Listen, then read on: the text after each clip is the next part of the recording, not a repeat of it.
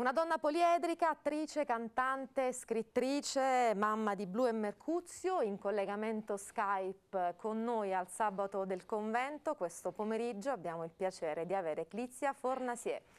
Ciao, buon pomeriggio.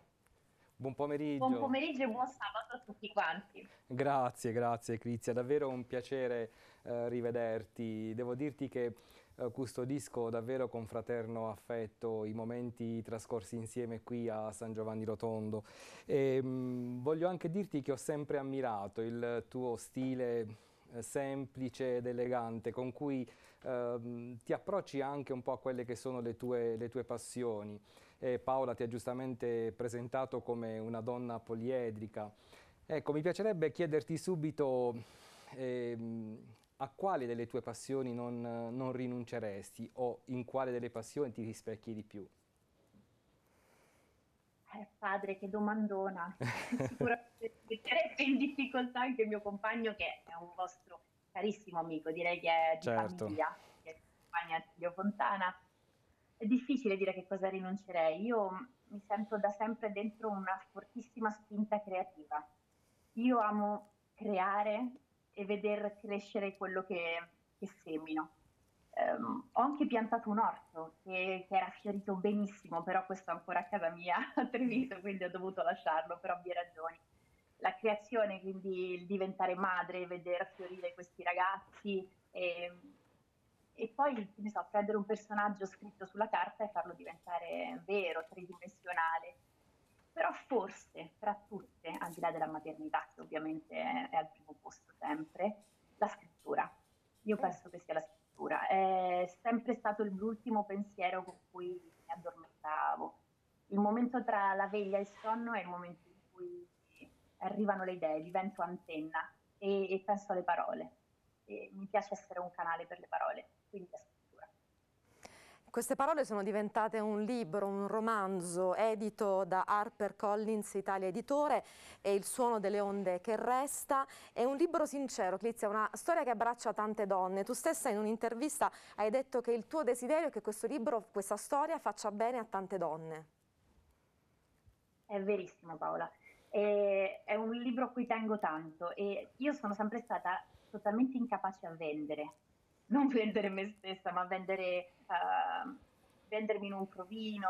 Non sono mai stata abile nel marketing, ecco. ma quando si tratta della mia scrittura e soprattutto di quel progetto che è Suono delle onde che resta, che ho avuto il piacerissimo di presentare da voi, eh, allora lì divento un'altra, perché è una storia che racconta sicuramente di una solitudine, trincera in cui una persona, trincea in cui una persona si, una donna grande è andata a nascondersi, a chiudersi eh, dopo aver trascorso una vita complessa.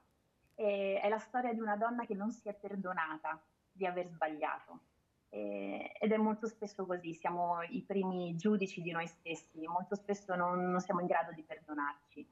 E, è un libro che parla, secondo me, senza giudizio di una questione eh, importante, eh, dove molto spesso si piange in silenzio perché è una questione che adesso non posso raccontare proprio perché eh, arriva alla fine di questa storia, eh, in cui ci si sente un po' vittime e un po' carnefici di un dolore che, che poi ci si porta dietro per tutta la vita.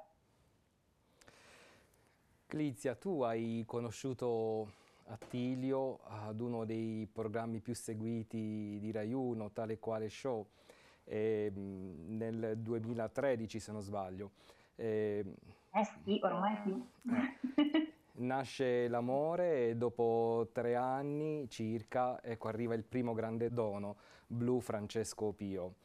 E, mh, accade qualcosa durante, durante la gravidanza, e, mh, qualcosa che per fortuna poi uh, ha un lieto fine e vi... Mh, conforta e vi, mm, come dire, vi conferma nell'idea di completare il nome di Blu con Francesco Pio. Eh, c'è sicuramente un legame con, con, il nostro grande santo, ti va di parlarne? Decisamente sì. Eh, allora, la figura di San Pio, eh, io lo sapevo, era importantissima per il mio compagno, per Attilio. Chiaramente io lo conoscevo, ma non lo conoscevo approfonditamente quanto lui Achille ha perso il papà che era piccolo e, e ha cercato molto spesso in figure maschili una figura non dico sostitutiva perché è impossibile, ma una guida. E lavorando sulla figura di la vita di San Pio, lui ha trovato secondo me una, un pezzo di papà e, ed è riuscito a raccontarmelo con un amore per cui è stato quasi un, un, dovere fatto con tutto il cuore, quello di portare al nome di mio figlio questo altro nome che è Francesco Pio. Poi eh, niente, durante la gravidanza c'è stato un incidente purtroppo, che per fortuna si è risolto nel migliore dei modi. E nel momento dell'impatto c'è stato un grosso tamponamento in autostrada eh, e io avevo questo pancione grande, chiaramente il primo pensiero è stato per questa bolla magica. Eh, Attilio era piuttosto sereno eh, perché era, nel momento dell'impatto si era aperto il suo portafoglio ed era, era uscita la figura di Pio che porta con sé un Pio ragazzo, una figura abbastanza inedita, non il solito, la solita rappresentazione di San Pio con la barba bianca. E lui diceva lui è qui e, e va tutto bene. E devo dire che a parte che Blu quando guarda eh, la rappresentazione appunto di San Pio lo, lo, guarda come un nonno, come uno zio, come se ci fosse un, un qualcosa che li lega. E in Blu qualche cosa di questo santo lo trovo, la capacità di, eh, appunto di creare, di connettere, di sentire. Eh, sarà anche che sono dello stesso segno dei gemelli, non parliamo di astronomia di oroscopi, però sono vicini, un po', non so, li sento vicini. Come commentava uh, le immagini del papà che interpretava Padre Pio in Actor Day? Beh, era affascinatissimo dalle musiche perché è un musical potentissimo, al di là del, della tematica che, che, sembra esclusivamente religiosa, lì è la storia di un uomo, un supereroe. Quindi Blue, che era ancora più piccino, quindi aveva due o tre anni quando l'ha visto, eh, senza sovrastrutture, secondo me se la stava godendo proprio come se stesse guardando la storia di un supereroe. Grazie per averci aperto questo cassetto della tua vita, della vostra vita privata, Clizia. Eh, il destino è nel nome, come dicevano i latini, no? Nome nomen. Eh, Clizia era una eh, ninfa greca che è stata trasformata poi in girasole per continuare a seguire il suo amore. la tua solarità, Clizia, traspare eh, davvero a 360 gradi. Eh, come fai? Paola. Allora speriamo, non lo so se l'ho chiamato io il nome o se il nome mi ha portato il sole, a parte che è stata la prima parola che ho scritto, questa cosa l'ho raccontata, è stata la prima parola che sono riuscita a scrivere di, mia, di mio pugno. Quindi, eh, io mi sento fortunata, questo è alla base di tutto. E, ehm, sono fortunata, eh, vivo di quello che amo eh, e ho avuto già tanto in questi miei primi 35 anni di vita. Quindi penso che la riconoscenza sia alla base della mia solarità e, una visione del futuro che è sempre sono una fonte inesauribile. Pens- cioè, credo che questo sia il punto di partenza. Mi sento fonte inesauribile, quindi posso sempre fare meglio. E, e questo mi fa guardare in avanti con questa che vedete come solarità. E poi il sole è creazione, no? Eh. È vero. certo. È proprio così.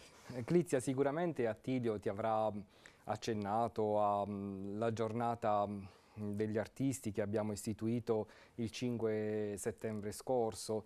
E, mh, sai che la Chiesa, come ha fatto anche lo stesso Padre Pio, guarda con, mo con molta attenzione al mondo degli artisti.